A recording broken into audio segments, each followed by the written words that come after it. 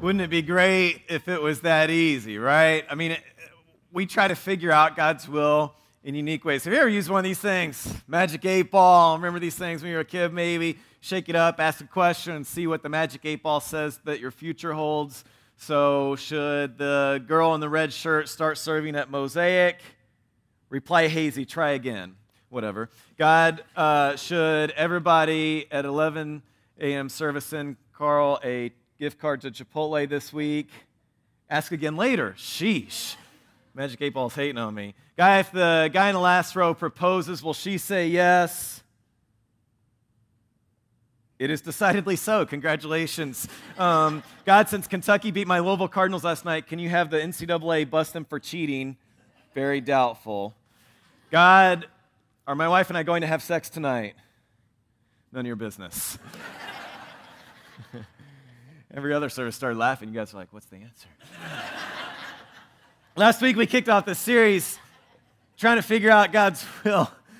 you guys are sick for our lives. We all face situations where we want to figure out what does God want me to do? Or if you're a skeptic, it's even like, yeah, sure, I'd want God's help on some situation, like around my job or family or whatever. Look at our key verse for today. It's Psalm 32, verse 8. Here's what it says the Lord says, I will guide you along the best pathway for your life. I will advise you and watch over you. Now, don't you want that? Don't you want God to guide you along the best pathway for your life? I know I do. The problem is, we try to figure out God's will in some wrong ways. So, as we get started, I, I want to actually list out what I think are some bad ways that we try to figure out God's will. The first one is we don't ask God. That sounds obvious. Don't ask God. I'm trying to figure out God's will. Why wouldn't I ask God? I don't know, but I don't ask Him either. Do you ever have situations like this? Because this is what I do, where I'll have a situation where I'm trying to figure out what God wants me to do in this situation. And I'll think about it while I'm falling asleep at night and think, oh, I need to pray about this. I'll pray for about 15 seconds before I'll fall asleep. But then I have a lunch scheduled the next day where I'll talk to somebody for an entire hour, hour about it. So the end result is I'm talking to God for 15 seconds about what He wants me to do, and I'm talking to somebody else for an hour. If you don't want to know God's will in your life, don't ask Him.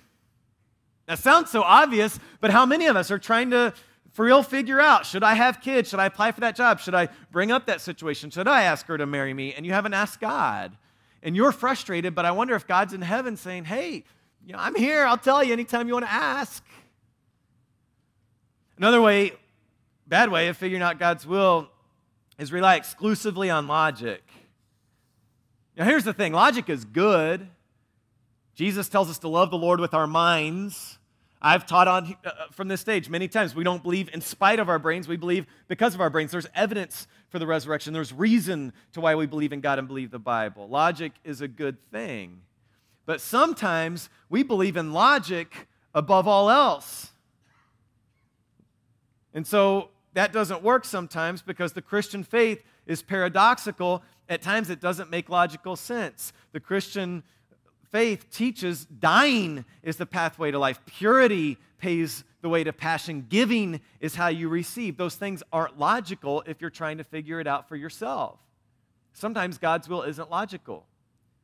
I follow a nationally known pastor who once had a very large growing church on the West Coast. He was speaker at conferences. I read his books, but he felt God was, te- uh, was telling him, leave your growing huge church I want you to go serve in obscurity in the poorest inner city you can find. That didn't make logical sense at all, but he believed it was God's will for his life. When I was deciding where to go to college, I was accepted to three different colleges. And I realized if I wanted to go into ministry, if I was sure I was going to work in the church one day, there was one college that I should go to. That would give me the best Bible education, the best foundation for ministry. So I decided to go to it, even though it was the worst of the three colleges. When I was making that decision, my mom sat me down, my parents sat me down and said, Listen, Carl, we need ministers, but we also need Christian lawyers and, and we need Christian doctors. And I knew what she was saying. Are you sure you want to go to the worst of these three schools? But that's where I went. I should have you know they paid for my education. And the day I graduated, we were standing in my kitchen, and my parents said to me, You know, Carl, we, if we were choosing for you, we wouldn't have had you go to that school, but if we could go back, we wouldn't have chosen anywhere else. At the time, it didn't make logical sense to go to the worst of the three colleges, but in retrospect, that, that's where God wanted me to go. Sometimes God may want you to do the logical thing. He gives you your brain to, to use it, but relying exclusively on logic is not the path to figure out God's will. You know, I figure, I, I struggle to figure out God's will for our church a lot. God, should we start Saturday night services? God, who should we hire next? God, who are the best international partners? God, what should we do when we think about space? Because we're growing and we have this lease for three more years. God, how do we make room for people on Easter when we only have 265 seats? And I don't know the answers to a lot of those questions. And I use logic a lot. But I don't want to rely on logic exclusively. Because if we had relied on logic exclusively, we would never have started this church. What? Move to a state where you don't know a single person with just your wife and daughter and start a church? Okay, that'll work out real good. It's not logical. Another bad way to figure out God's will is hear what you want to hear. Have you ever had a situation like this where where somebody asks you for advice, you give them your opinion, they go and do the opposite, but they think they're doing what you told them to do. They're think, they think you told them to do what they want to do anyway. They're hearing what they wanted to hear. So, for example, maybe you get together with a friend and, and say, How's your love life going? They say, Well, you know, I'm interested in this guy and things are going well. And, and what do you think about it? So you share your opinion. And then you see him a couple months later and say, Hey, how did things ever turn out with that guy? And, and she says, Great our, our relationship's great, we're super serious. And, and you say, I told you not to date that guy. And she says, Yeah, you told me to date that guy. And you reply, Well, I told you if you got a job, date that guy. And she said, Well, you got a job working at Burger King. And you're like, That's not what I meant at all. They're hearing what they want to hear. And sometimes people do this in goofy ways, they just look for goofy signs. There's a story in the Bible about a man named Gideon who God appears to and, and gives him this mission and saying, Gideon, I want you to go do this really difficult mission. Gideon says, Well, I'm not sure that was God talking. So, God, here's, here's what we're going to do I'm going to lay out a fleece on the ground tonight. And tomorrow morning, if the ground is wet, but the fleece is dry, then I'll know it was you that told me that. So, sure enough, next morning he gets up, fleece is dry, ground is wet. We're not talking like an Under Armour fleece here, we're talking like wool from a sheep in case you're cloudy on that. So, but then he says, God, I'm still not sure that was you. That could have been coincidence. So I want to do the opposite. I'm going to put this fleece on the ground. And tomorrow, if the ground is dry, but the fleece is wet, then I'll know it was you that told me to do this crazy thing. Sure enough, next morning he wakes up, ground is dry, and he can wring out the fleece. So he says, Okay, God, I'll do it. But here's the thing with that story I have no idea what it means. I've heard sermons on it that say we should lay out a fleece before the Lord and test him and see what he wants from us. I'm like, I don't know. Because one time when I was eight, I read that and I laid out something outside to see if God would do that, and just dew was everywhere. So it didn't really work. I've heard other sermons on that to say you need to have faith. You shouldn't test God. To be honest, I'm not really sure. What I do know is we do goofy signs. We do goofy things. We say, God, I'm going to call this hot girl. If she answers, I'm going to take that as your will that I should ask her out. And so then on the 11th time you call her in a row, she finally answers, and you think God wants you to date her, but she's going to call and get a restraining order on the next call. You say, God, I'm going to go to the mall. If there's a sale, I'm going to take that as a sign that I should get this dress. And you go, and it says, buy five, get one free. So you say, Praise the Lord, I'm getting six dresses. Hallelujah. God can use anything and everything. He's God. But a lot of the time, we look for goofy signs and we're really just treating God like a magic eight ball. God, should I ask her out? God, should I apply for med school? God, should I keep working at the marriage? God, should we try again to have a kid or should we adopt? And we turn it over and act like this goofy sign must be God's will for our life. See, what happens with all these different things that are bad ways to figure out God's will is we end up frustrated if we can't figure out God's will. We're disappointed if God's will doesn't work out when maybe we didn't really listen to it right in the first place. And we become disillusioned and think, I'll never know God's will. I might as well give up on the whole faith thing altogether. When really it was our fault because we weren't really listening to God's will in the first place. So the question is how do we figure out God's will? What I want to do for the remainder of our time is I want to give you four ways to figure out God's will. I want to uh, kind of give you four windows to look through. When you're, when you're looking at God, a decision, a situation, trying to figure out if it's God's will, look through this window, filter it through this window, and see if it's God's will for your life. The first window to look through is what do others say? What do others say? Often in the Bible, when God is communicating his will to someone, he communicates it through other people. It's maybe a friend, maybe a prophet saying, This is what God wants you to do, or this is not what God wants you to do. So this means we need to be around people who are wiser than we are, who are more experienced. One of the primary goals of our growth groups is that when you're in a three month growth group at Mosaic, you'll make a friend. So when the group is over after three months, that friendship continues so that when you're facing a situation where you're trying to figure out what does God want me to do? What should I do in this situation? You can call that friend and say, hey, what do you think about this? How do we figure out God's will? Second way is God's leading. what the Bible teaches, what we believe as Christians, is that God speaks actively to his people. I want to show you uh, one story of this in the Bible. It's a pretty bizarre story. Acts chapter 16, verse 6. Next, Paul and Silas traveled through the area of Phrygia and Galatia because the Holy Spirit had prevented them from preaching the word in the province of Asia at that time. This is crazy. Why would God prevent people from preaching about Jesus? And what does that even mean that the Holy Spirit prevented them from going? That's really all it says about it. I have no idea what that means. But read on. That night, Paul had a vision. A man from Macedonia in northern Greece was standing there pleading with him, Come over to Macedonia and help us. So we decided to leave for Macedonia at once, having concluded that God was calling us to preach the good news there. That's a crazy story. But what that teaches us is that when you follow Christ, when, when you repent, you get God's Spirit to live inside you and you listen to that spirit because God sometimes in crazy dramatic ways will speak to you and lead you into his will. A third way we listen for what God's will is in our life is we look at our life circumstances. We look at what's going on in our life, who God's placed in our life, and figure out is God using this scenario, is God using these people to accomplish His will in His life? This is what we talked about last week when we talked about the providential will of God.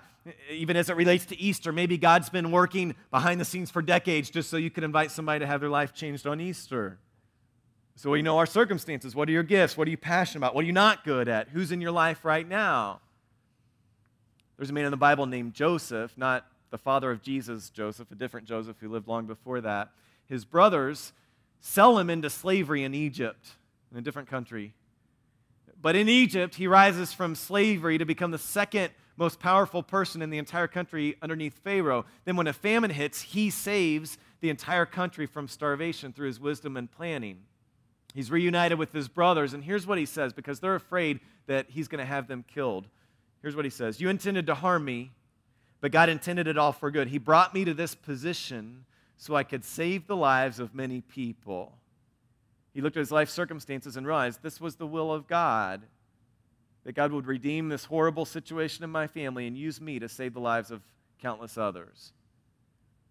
So we have others, we have God's leading, we have our life circumstances. Those are all great things and important things.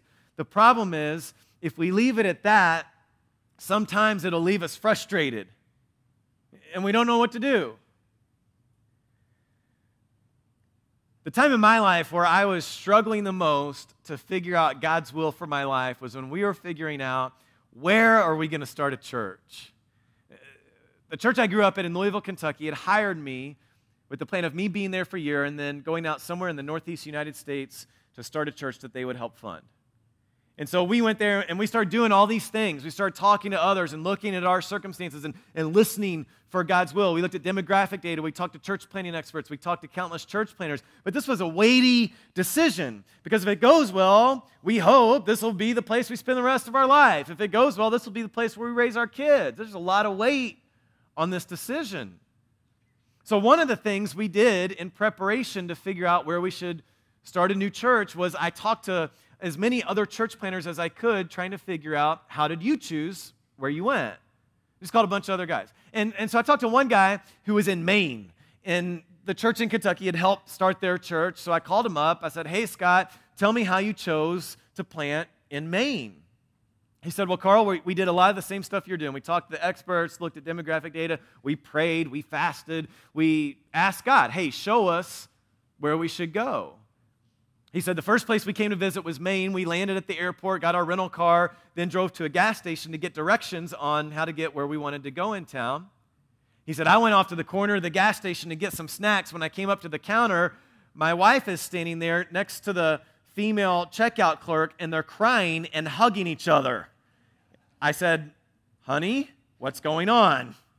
And while he was getting his Diet Coke or whatever, the, his wife had gone up to ask for directions. Before she could even say anything, the woman behind the uh, checkout counter, just to no one in particular, kind of looking down at the counter, just said in frustration, I wish somebody would just start a good church here because I would go to it. And the woman said, We're here figuring out if we should start a church. And she said, I'll go to your church. And she said, You're our first member. And then they started crying and hugging right there in the middle of the gas station. So I thought that's an awesome story. You know, God, well, then I asked, how's it going? Did it work out? He said, Carl, our church is growing like crazy. People who don't go to church are coming here. We're blowing up. We don't have enough room. It, it's awesome. So I have this in my back of my mind. I've talked to other church planners with similar stories. I'm thinking this is what's going to happen to us. We're going to go to a place, the clouds will part, the sun will shine down, and God, in a Morgan Freeman voice, will say, This is where thou shalt plant. And we will say, Yes, Lord, we will obey. So the, we visited, um, uh, we visited D.C., Providence, Boston, New York, and Baltimore. Baltimore was actually the first area we were visiting, visiting of, the, of that list. And I remember when we landed on the, in the airport, I had a pit in my stomach. Because I'm thinking, God, are you going to talk to us? It's a big decision. This could be where we live the rest of our lives. We had talked to some experts, and they had given us a few different specific places around Baltimore and in the city to look at. One of the places they had recommended was Hunt Valley. They said this is an up and coming area.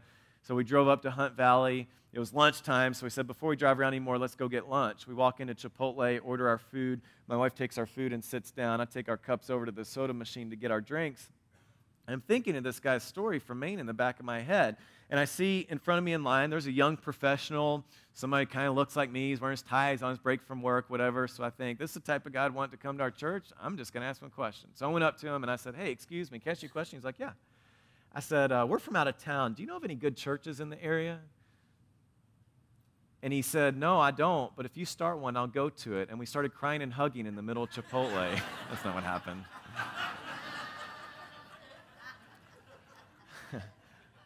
I went up to him. I said, Excuse me, do you know any good churches around here? And he looked at me like I had leprosy, and he goes, No. And he walked away as quick as he could.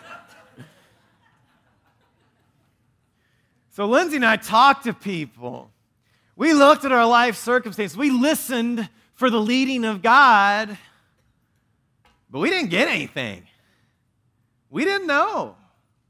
See, these things alone aren't sufficient. Sometimes others are right, sometimes they're wrong. Sometimes it's great to take assessment of your life situation to try to see what God is doing, but sometimes that'll mislead you. Sometimes you can think, Maybe God's speaking to me, but then you think, maybe I just had some bad Mexican for dinner last night. How do I know the difference? So, how do we figure out God's will for our lives? It is these things, but there's one more window we have to look through.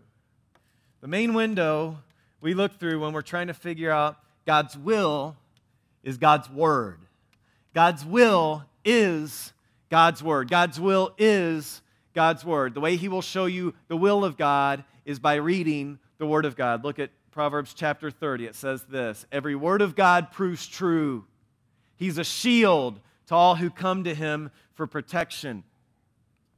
Jesus says that if you build your life on the foundation of His teaching, he says this at the close of the Sermon on the Mount, Matthew chapter 7, his most famous teaching. He says, If you build the foundation of your life on this teaching, you will be able to withstand the wind and the rain and the storms of life. Jesus doesn't say you won't have rain or there won't be wind or there won't be a violent storm that enters your life. Following God doesn't mean that everything works out great. But God's will is for you to withstand the storm. The storms of life, the storms of your own sin, whatever that is. How do you do that? You base your life on the Word of God. Some of you right now are in a storm. You're in pain.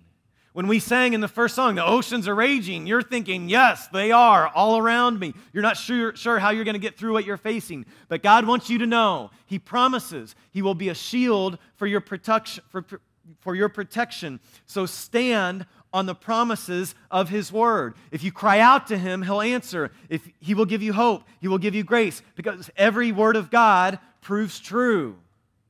Here's what he says in Psalm 119, verse 105 Your word is a lamp to guide my feet and a light for my path. If you are in the dark about where you need to go to follow God, open the Bible. His word will light your path. Joshua 1, Joshua 1 9.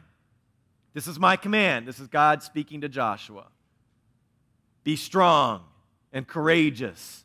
Do not be afraid or discouraged, for the Lord your God is with you wherever you go. Now, I'm not, I'm not a tattoo guy. I don't have any tattoos. I know some of you are like trying to fill up your whole arm or something. If I was gonna get a tattoo, this is the verse it would be. This verse is awesome. Be strong, be courageous, don't be afraid. God's with you. Some of you are writing that down like, yes, get tattoo of Joshua 1 9. But look at the reason for it in the previous verse. Here's what God says to him Study this book of instruction continually Meditate on it, Joshua, day and night, so you will be sure to obey everything written in it. Only then will you prosper and succeed in all you do. He says, Be strong, be courageous. God's with you. How do I do that, God? Meditate on my law. Keep it with you every day the rest of your life. See, God wants to guide you, He wants to lead you, He wants to set you free. His word exists to set you free. So many of us look at the Bible as a list of rules, but it's a handbook on how to free, live freely. God doesn't want to constrain you, He wants to set you free. When I tell my kids, don't stick a screwdriver in the outlet, that's not constrain them, that's a rule to set them free so they don't get shocked, so they don't go to the hospital. James 1 says this. But if you look into the perfect law that sets you free, and if you do what it says and don't forget what you heard, God will bless you for doing it. God's will is God's word. So read it, get it emailed to you, talk to other people about it, find creative ways to keep God's word, the Bible, in front of you. In our house, we got a, a chalkboard wall in our, in our kitchen. My wife just painted us uh, one wall with chalkboard paint. And every week when our kids come home from Mosaic with the the papers from their kids' classes, it has their memory verse on there. Every week she writes it on the chalkboard wall. So every meal, every day, every week, we have God's Word in front of our family. Find ways to get God's Word in you. God's will is God's Word. The reality is, the most important application some of you are going to get from this entire series is simply a recommitment to being God's Word every single day. And if you don't know where to start, I'd start in the Gospel of Luke. Read a chapter every day. But listen, if you say you want to know the will of God, but you're not reading the Word of God, I'd argue you don't really want to know God's will. God's will is God's Word. Now, there's kind of a deeper meaning to this as well. Here it is Know who is God's Word.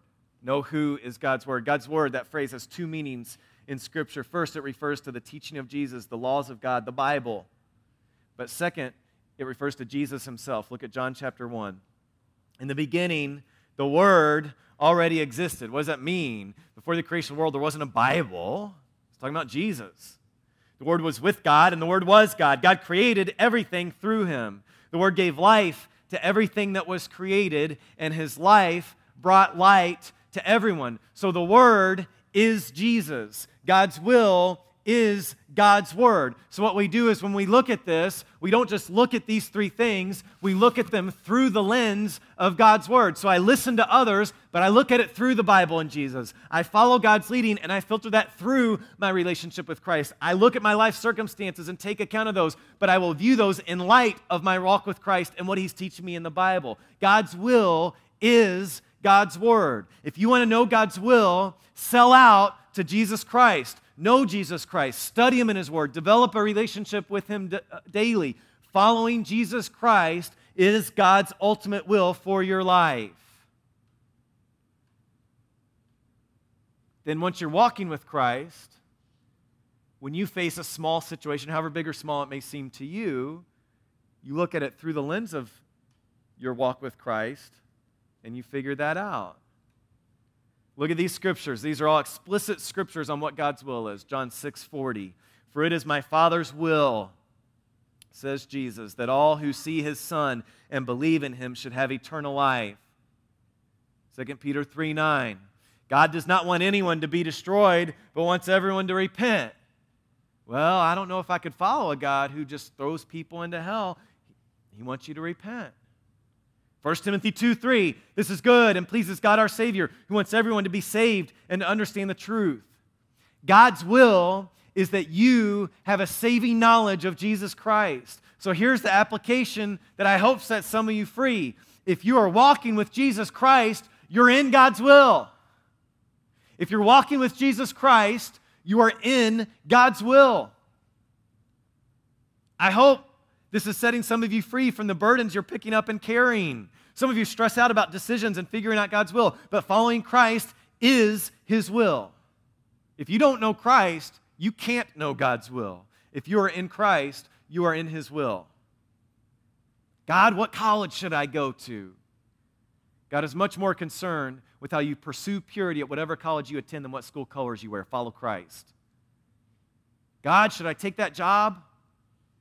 God is much more concerned that you're thankful for whatever job you have than who signs your paycheck. Follow Christ.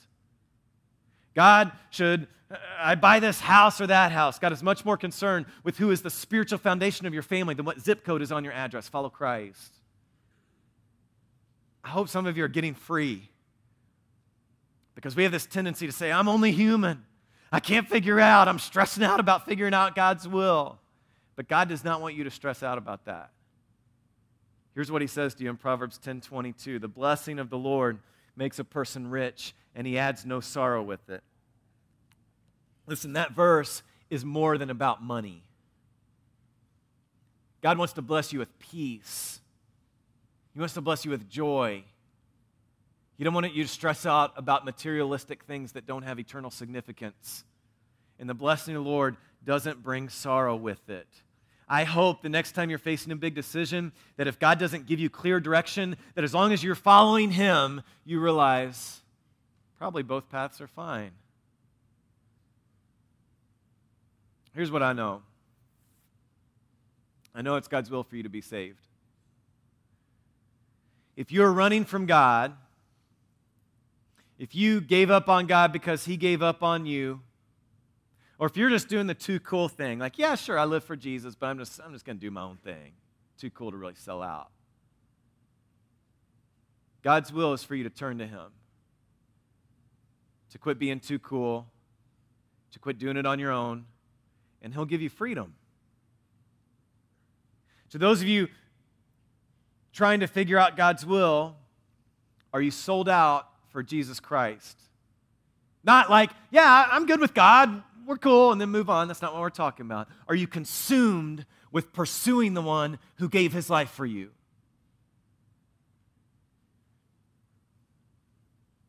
We're going to take a moment to celebrate communion, to celebrate the one who gave his life for us. The band's going to play some music in a minute, and when they do, a tray is going to be passed down your row. We want you to take a stack of two cups. It has a cracker and some juice representing the body and the blood of Jesus Christ. And then as the band plays, you can eat and drink that anytime.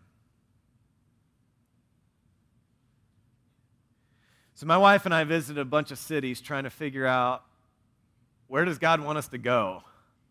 And the clouds never parted, the sun never shone down. Morgan Freeman never talked to us and told us this is the city we were supposed to go. So, we spent a lot of nights just laying in bed, awake at night, talking.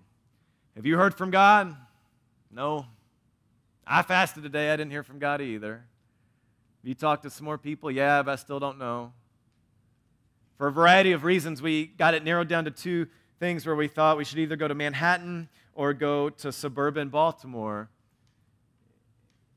And at the end of the day, we thought, you know, both places would be good. We could go to either place, and we think God would be pleased with us. Both places need another Bible believing church. Both places we think we'd be able to raise money. We'd have fun in both places.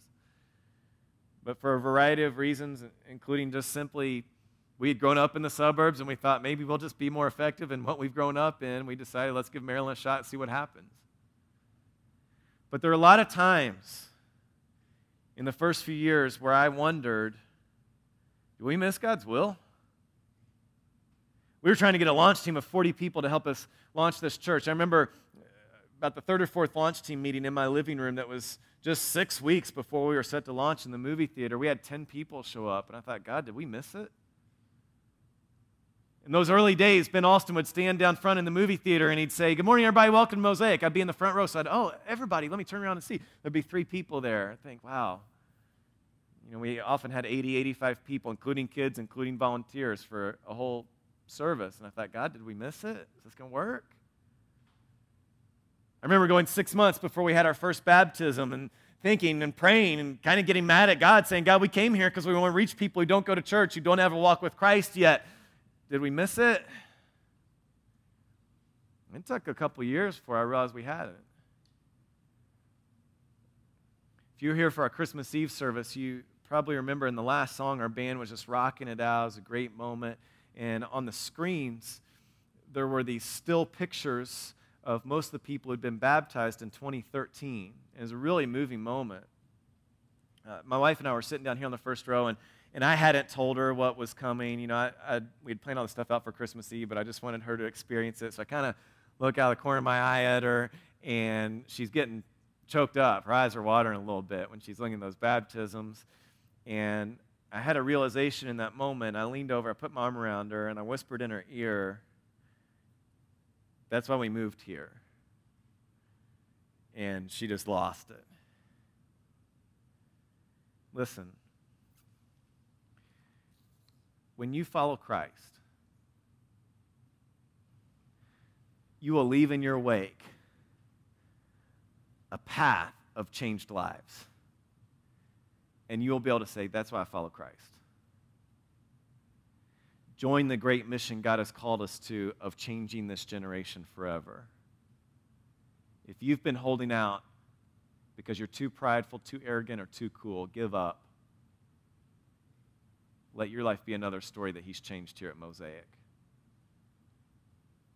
Psalm 32 says this The Lord says, I will guide you along the best pathway for your life. That's what I want. God's will is God's word. So let's follow Christ. Let's pray. Father in heaven, we want to follow your will. We do. God, there's people in here who are facing big decisions what school to choose. Should they try one last time at reconciling that relationship? What should they try to do with their kids? How should they face this sickness? God, those can stress us out if we're not careful. And they do carry a significant weight. God, if you need to speak, speak clearly. But God, I pray that we will be a church that follows you so closely, that is so consumed by you and so